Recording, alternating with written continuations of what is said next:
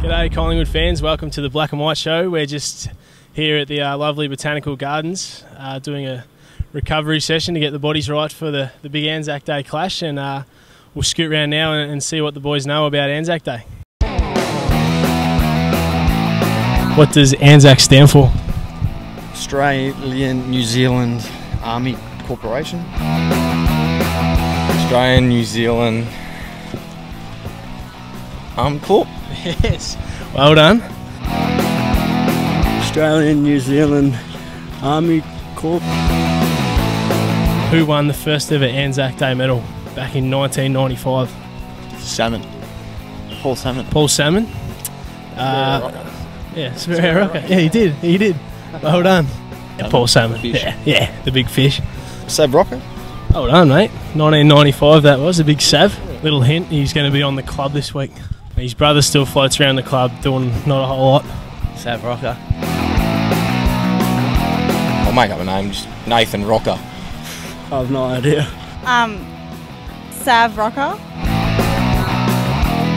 What players who are currently on the list debuted in the Anzac Day game? Is that Sharrod? Pendles. No. Just said him because he was in front of me. Couple of, couple of boys that come up off the rookie list. I don't even know. I don't really talk to our rookies. Okay. Uh, you didn't talk to me for a couple of years. Trav. Yep. A calf. Yeah. Calf.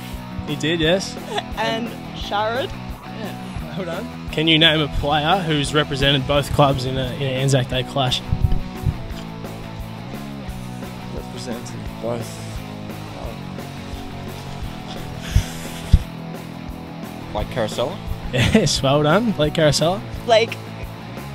Um, that's really messy handwriting. Oh, Mark McGough? No. No, not McGough. Uh, no, Michael. Yes. Yeah. Oh, Mick. No. no.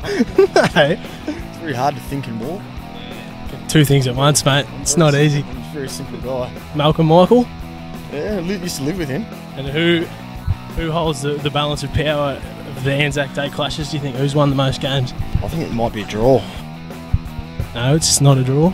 Surely um, Collingwood's won the most. 10 and 7, mate. Pies nine and Essendon seven. Well done, mate. Collingwood's won four of the last five.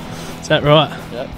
And I've seen you talking to the lovely um, Ben Sinclair and Jackson Paine. How do you, do you know these boys? Or Yeah, I went to primary school with Jack since we were really little. Oh, it's pretty entertaining. was he?